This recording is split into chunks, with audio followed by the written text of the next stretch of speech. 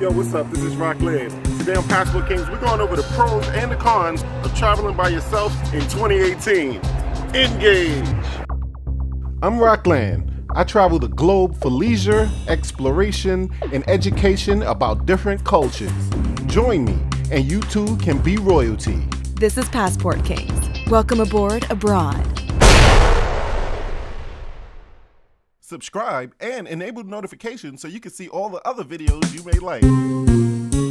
Passport Kings makes videos about travel and recommends destinations to help you discover, preview, and book your next adventure. And as Henry David Thoreau said beautifully, the man who goes alone can start today, but he who travels with another must wait till that other is ready. Traveling the world alone can be challenging, of course, but it also has its advantages too.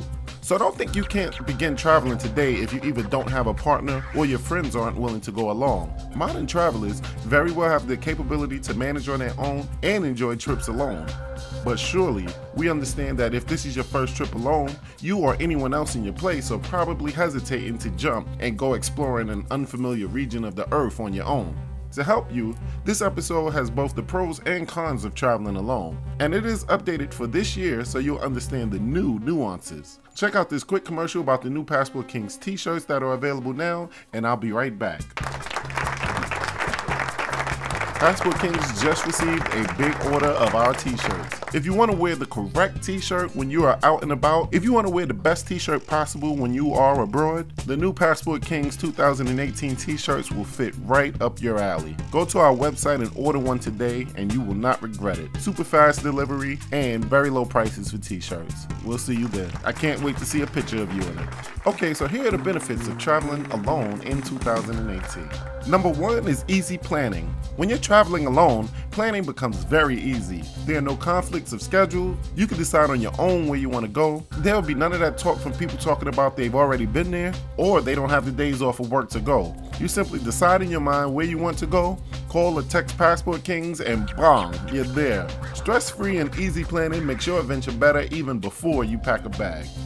Number two is the freedom of choices. When you don't have anyone to adapt your interests with, you get freedom. You're free to choose anything, anywhere, any place, way, or whatever you like. No longer will you have to drag someone to a zip ziplining site only for them to flake out as soon as you get there at the last minute. Your excursions are your own ideas, and you won't have company trying to drag you to places that you would rather not be. Number three, spending as much money as you decide. Whether you have a tight budget or can afford luxuries, expenditures of money with or without a partner are two completely different experiences. If you are not on par with your companion in terms of finances, it can surely create some awkward situations. Or, when you're together doing the things that they've longed to do, it may initially get out of your budget. Both parties would rather visit places that they're interested in instead of going because of financial compromise. Number four, confidence building.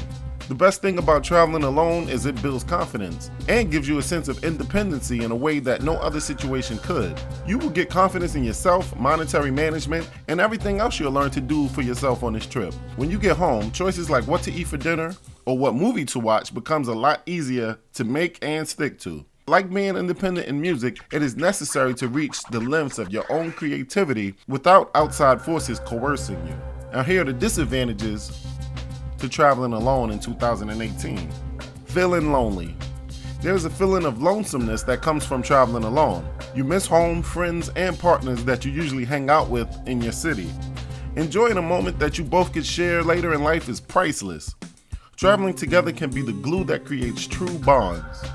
Telling someone about a magical experience or even sharing it in a picture that you put on Instagram is nowhere close to having them experience it with you at that time.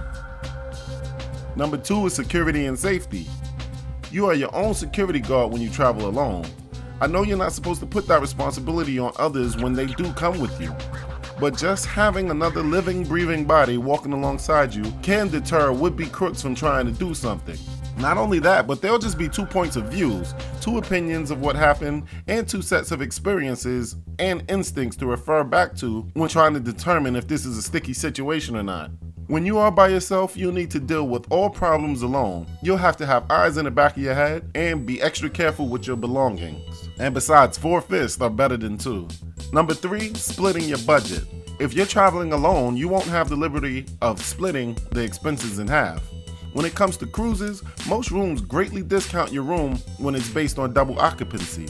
Your regular room in a hotel could have been split between two to three people, and even splitting Ubers effectively means that you are paying half price for everything. On the other hand, when you're by yourself, all incidentals are on you and you alone.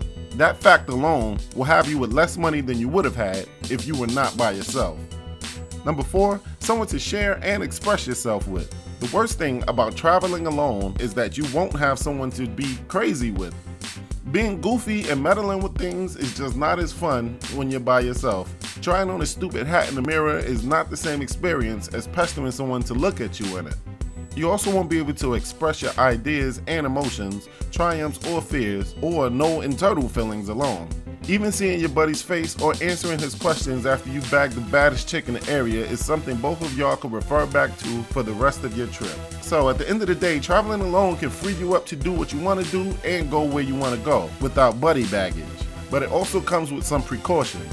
Are the precautions too much for you to handle? Even if you're saying yes to yourself right now, I can guarantee you that it isn't. I personally prefer for people to join me on a trip, but if they can't, that's not going to ever again stop me from going. So yo, even if no one else wants to go where you want to go, that should never stop you from making up your mind about being somewhere. So always go where you feel like a king, a passport king. Peace.